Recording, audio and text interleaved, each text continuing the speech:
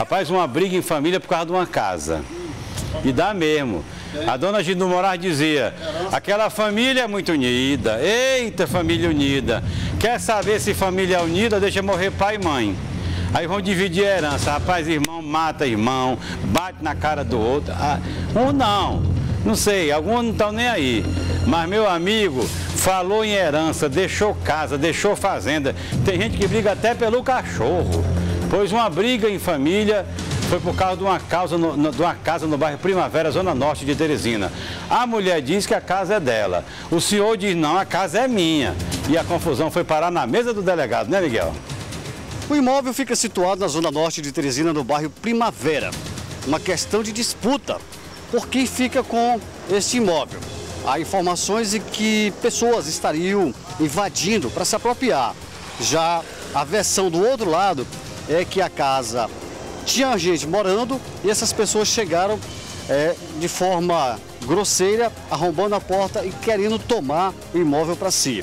Os policiais foram chamados para intervir e trazer as duas partes para a delegacia para se explicar perante o delegado para ver realmente quem tem direito neste imóvel. A cunhada dele, no caso, já, já tinha divorciado, né? Já havia divorciado. Então, eles nos chamou lá, a vizinha chamou dizendo que tinha alguém invadindo a casa, né?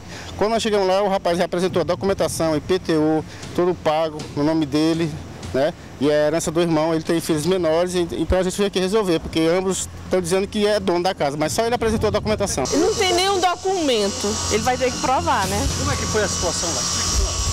Eu não sei nem te dizer, ele só fez arrumar os cadeados lá, arrumou tudo. Sou esposa, viúva.